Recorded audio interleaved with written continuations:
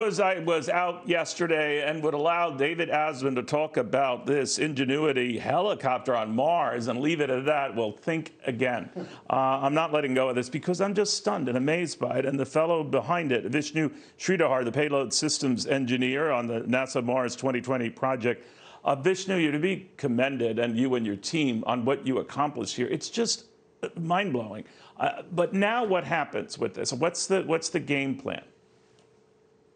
Hi, Neil. Thanks so much for having me again. Yeah, so Thank yesterday you. we attempted and successfully flew the first rotorcraft, our air-powered vehicle, for the first time on the surface of Mars. And this is just going to open up a whole new um, generation, next generation of um, space exploration and also exploring of Mars because the rovers can't really drive to certain terrains or we can't go to the polar caps.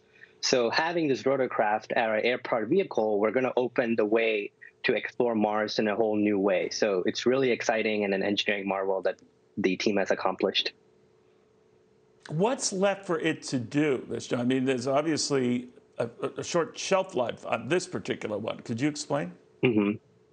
Yeah, so the Ingenuity um, rotorcraft or helicopter, the primary mission, um, it's a technology demonstration and we have actually never flown a rotorcraft, rotorcraft on another planet.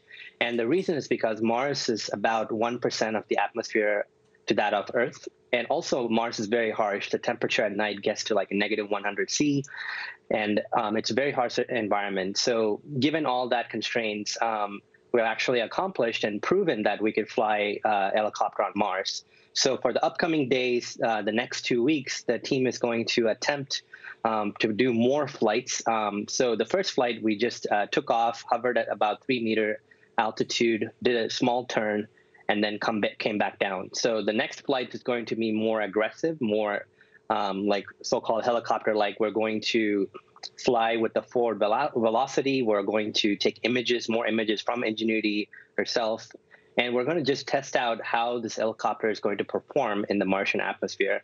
So we're really excited to push the limits of ingenuity in the upcoming week. It's just staggering. I, am just wondering in future missions when you can do more, maybe with uh, bigger such devices or what have you. The applications are uh, too many to list here, but one easy thing would be to uh, survey much more the, the Martian surface than we've ever been able to do in the past, right?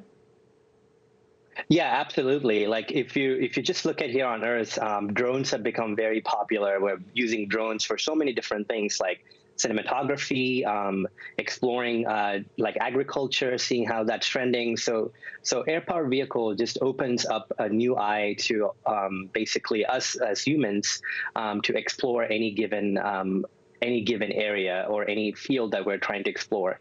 And with having now that we could fly on Mars, we're going to fly to regions we have never attempted.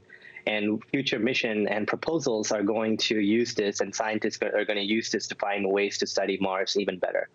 And of course, this is going to teach us a lot of um, things like how we operate a helicopter on another planet. So that application and the things we learned can be transferred to a different planet like Venus or Titan or things like that. So it's really exciting. Incredible.